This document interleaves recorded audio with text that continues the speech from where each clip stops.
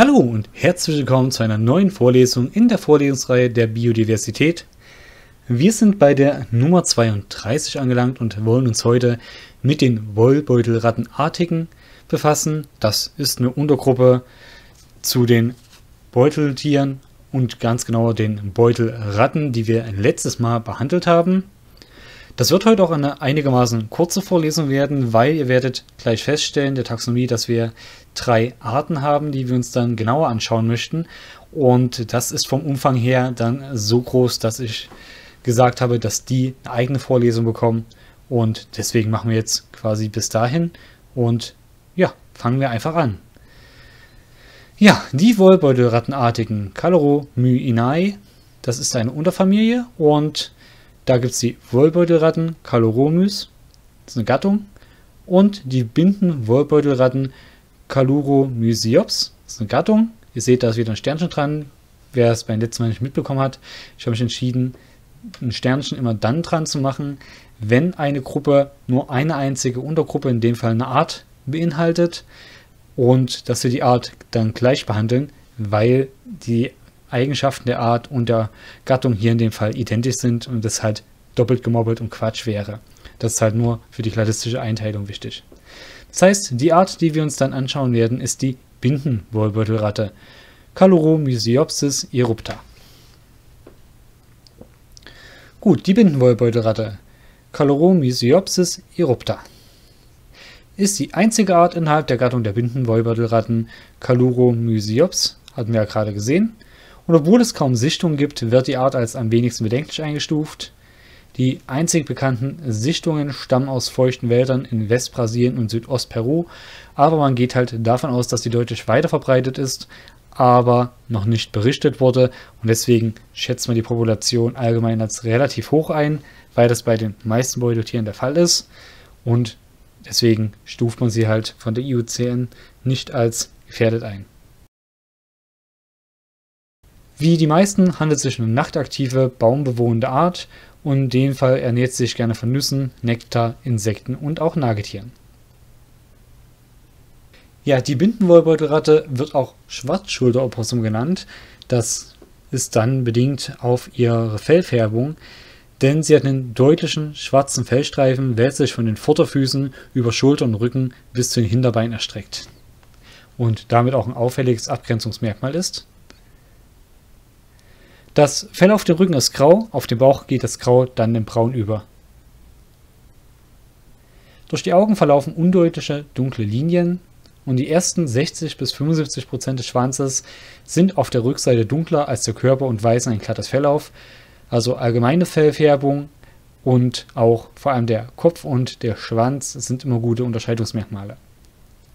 Die letzten 40 bis 25 Prozent des Schwanzes sind weiß und buschig und der Vorderschädel, der ab den Augenhöhlen beginnt und Rostrum genannt wird, ist kürzer als bei den Wollbeutelratten Caluromys.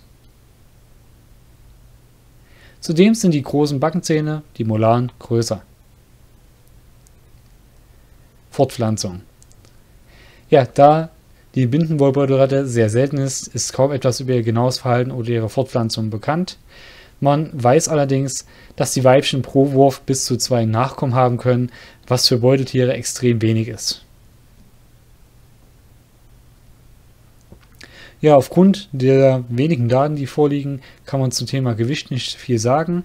Höchstalter ist sieben Jahre und die Größe ist bis zu 73 cm inklusive Schwanz natürlich. Ja, und damit sind wir schon bei der Gattung der Wollbeutelratten Caloromys. Sie sind von Mexiko bis Argentinien verbreitet und kommen dort häufig vor, weshalb die Gattung als am wenigsten bedenklich eingestuft wird. Es handelt sich um nachtaktive, baumbewohnende, gute Kletterer, welche einstgängerisch leben. Und sie sind Allesfresser, also Omnivoren. Sie ernähren sich hauptsächlich von Nüssen, Blättern, Früchten, Insekten und kleinen Wirbeltieren. Zum Körperbau kann man sagen, dass das auffälligste und eindeutigste Unterscheidungsmerkmal der schwarze Gesichtsstreifen ist, welcher sich von der Nase über den Kopf zum Rücken erstreckt. Kann man allgemein sagen, ja, aber wir werden bei den einzelnen Arten sehen, dass man da auch ein bisschen differenzieren sollte. Das Fell auf der Oberseite ist rötlich, braun oder auch grau und kann manchmal weiß gemustert sein. Auf der Unterseite ist es meist gelblich und der Kreisschwanz der Wollbeutelratten ist bis zur Hälfte behaart. Auch das kann man so ganz salopp nicht sagen. Es stimmt so ganz grob, aber es gibt trotzdem Unterschiede.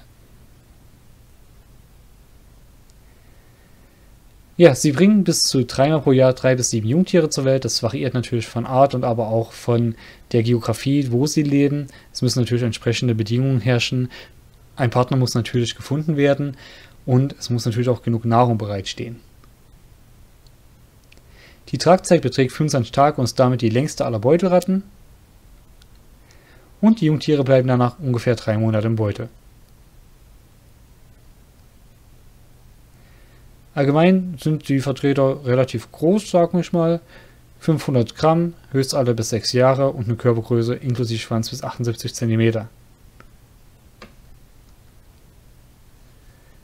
Innerhalb der Taxonomie der Wollbeutelratten, also unserer Gattung Caloromys, gibt es wie am Anfang schon erwähnt drei Arten. Die Derby-Wollbeutelratte, Caloromys derbianus, rote Wollbeutelratte, Caloromys landatus und die gelbe Wollbeutelratte Caloromys philander.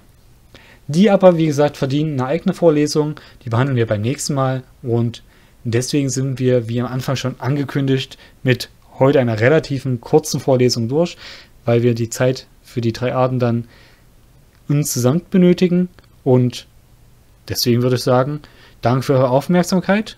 Bis zum nächsten Mal. Ich hoffe, wir sehen uns dann bald wieder und da schauen wir uns mal an, warum das, was ich jetzt gerade zu der Gattung gesagt habe, für die einzelnen Arten nicht zwingend so stimmt. Man muss allerdings dazu sagen, die Literatur variiert auch sehr stark und ich habe manchmal das Gefühl, dass ein paar Copy-Paste-Fehler passiert sind, weil manche Literaturen sprechen von Höchstgewicht von 52 Gramm, andere von 528 Gramm.